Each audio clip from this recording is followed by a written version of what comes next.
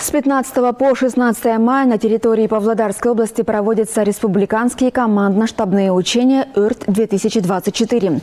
Каковы их цели и какая отработка действий проведена, расскажет Валентина Леонова.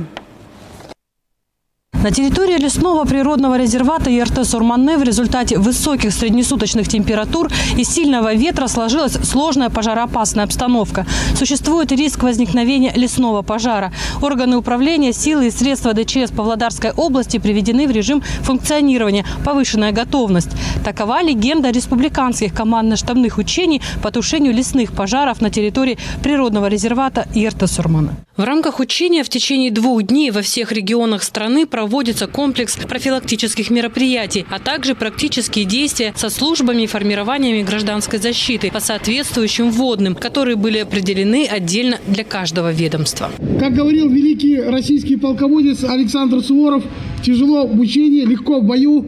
Давайте сегодня мы покажем всем слаженную свою работу не только сил пожаротушения, но и местных исполнительных органов. И пусть у нас как можно меньше будет лесных пожаров, а вот как можно больше тренировок и э, учений. На территории природного резервата Ерте-Сормане был развернут палаточный городок. Определены места учебных возгораний на площади одного гектара. В ликвидации пожара были задействованы 40 единиц спецтехники и 80 человек личного состава ДЧС, полиции, медицинских работников, лесохозяйственных учреждений и местных исполнительных органов. Также э, по легенде был переход э, пожара на сопредельные государства, это Российская Федерация.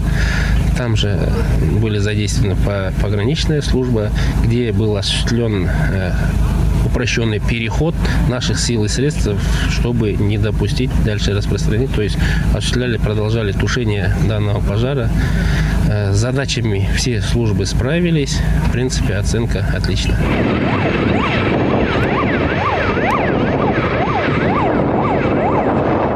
Ходе учений волонтеры совместно с Центром медицины катастроф отработали варианты поиска пострадавших людей в условиях пожара и оказания им неотложной медицинской помощи.